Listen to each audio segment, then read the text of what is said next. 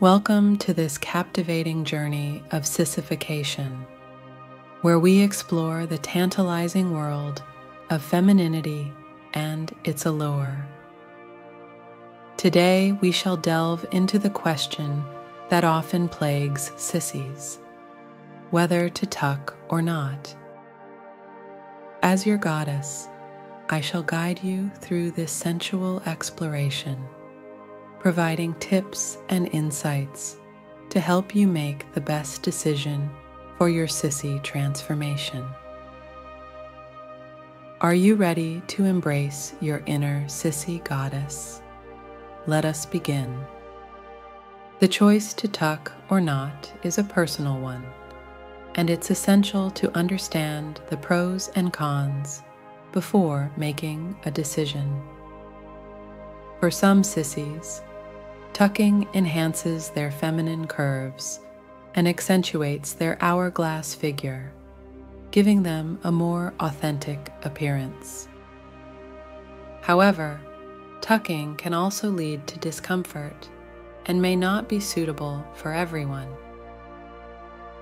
Also, it is good to understand that some men just simply can't resist sissies who don't tuck their member if you decide to tuck, there are a few tips to keep in mind. Firstly, always wear comfortable underwear designed for tucking. This will prevent chafing and provide support for your feminine assets. Secondly, experiment with different tucking techniques to find what works best for you. Some sissies prefer a tight tuck, while others prefer a more relaxed approach. Once you've mastered the art of tucking, consider incorporating feminine undergarments into your wardrobe.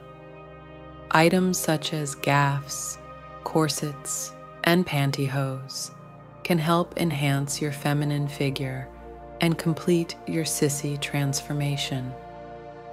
Embrace your inner female and make the decision that feels most authentic to you.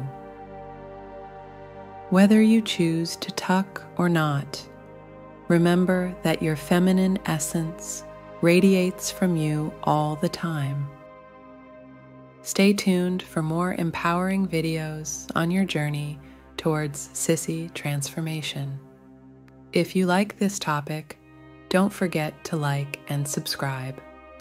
If this video gets enough likes and comments, I will give more detailed tips for tucking.